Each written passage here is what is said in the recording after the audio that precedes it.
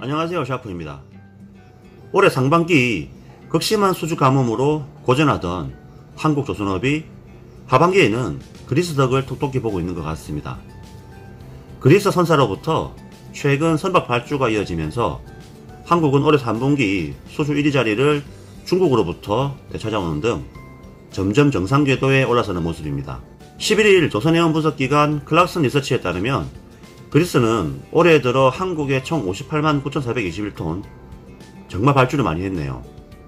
선박수는 총 18척을 발주했습니다. 이는 올해 국내 전체 수주량의 20.7%를 차지합니다. 이어 우리나라 선주들이 우리나라 업체에 37만 196톤 선박수는 15척을 발주한 것으로 알려졌습니다. 우리나라 선주들의 경우는 작년 데이터의 경우를 보면 외국에 발주를 많이 한다는 통계도 나와 있는데 올해는 코로나 사태 때문인지 우리나라의 수준을 몰아준 것으로 나타나고 있습니다.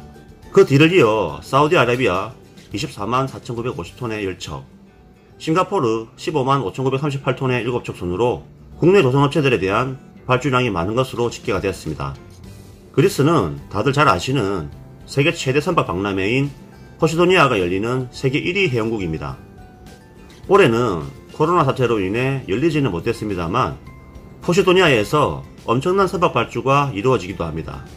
그리스는 최대 해운사인 안젤리쿠시스 그룹이 1994년 이후 대우조선해양에만 110척을 발주를 했을 정도로 우리나라와 오랜 기간 동안 인연이 깊습니다.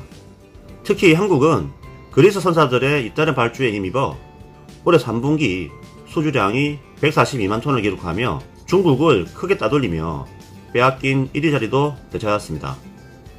그리스의 국내 발주의 경우는 업체나 선박 종류를 가리지 않는다고 합니다. 트레이드 윈즈 등 외신과 업계에 따르면 그리스 선박 가문 알라푸도스가 운영하는 키클라데스와 또 다른 선사 에반겔로스 피스티올리스는 지난달 한국조선해양에 30만 톤급 초대형 원유 운반선 두 척씩을 발주했습니다. 발주 규모는 4,200억 원에 달합니다. 한국조선해양은 이번 수주를 위해 임원이 특별 여행 허가서를 발급받아 그리스 수도 아테네를 방문한 것으로 전해졌습니다. 그리스의 액체 화물 운반선 전문선사 판테온도 지난달 삼성중공업에 스웨즈막스급 탱커선 두 척을 발주했습니다. 삼성중공업이 수주한 선박의 사양과 건조 가격은 정확하게 알려지지 않았지만 S맥스급 탱커가 척당 5,600만 달러임을 고려할 때 계약 규모는 약 1,200억 원이 넘어갈 것으로 추정됩니다. 이 밖에도 그리스 선사 플레이아데스는 대한조선과 540억 원 규모의 아프라막스급 원유 운반선 한척 건조 계약을 체결하기도 했습니다. 현재 유료화 강세와 더불어 컨테이너 운임까지 지속적으로 상승 중이라 연말까지 유럽 회원사들의 발주는 계속 이어질 가능성이 높을 것 같습니다. 오늘 영상은 여기까지입니다.